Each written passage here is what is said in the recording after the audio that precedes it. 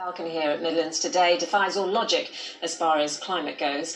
Um, but yes, it all started off so well today, and of course, now that it's autumn, the first day of autumn, click and everything changes. But our weather watchers wasted no time in capturing the gorgeousness of the day earlier on. We had blue skies, and as you can see from this picture from Kenilworth in Warwickshire, a misty morning but full of promise, and temperatures in this part of the world eventually rose to 23 Celsius today. So warm, and the last warm day of the week. Unfortunately for some, but for others, actually be glad of the cooler conditions and a little bit of rain. It's going to be fairly unsettled for a time.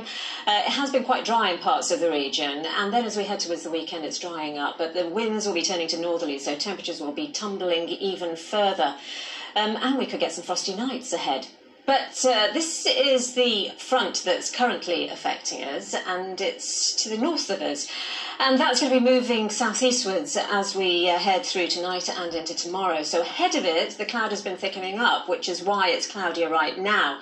So through the night, uh, we'll see lots of cloud, but the temperatures with those southwesterlies still holding up at around 13 to 14 Celsius, which is really quite warm for a night. And then towards the end of the night, preceding that front, we'll see a few showers breaking out. Now, through the morning tomorrow, as that front passes through, and locally some of that rain could be heavy, it's only a narrow band, uh, we'll see those winds turning to northwesterly. So by the afternoon, lots of sunshine, a few showers in tow, but temperatures are only fractionally higher than today's values, and there's a bit of a breeze tempering the feel of the day, so highs of about 15 Celsius. And then on Thursday, with another system moving in, we could get some locally heavy downpours and windier conditions. It's even colder. Okay, Shefali, thanks.